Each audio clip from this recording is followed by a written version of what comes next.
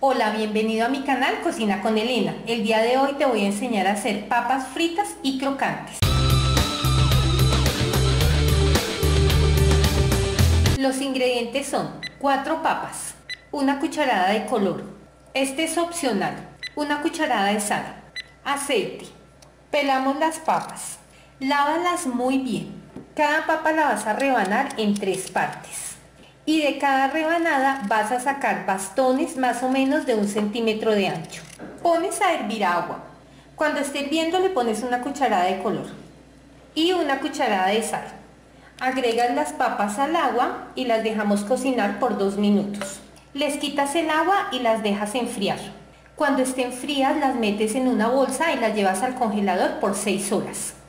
Pasadas las 6 horas ya las puedes descongelar, las puedes fritar o llevarlas al horno.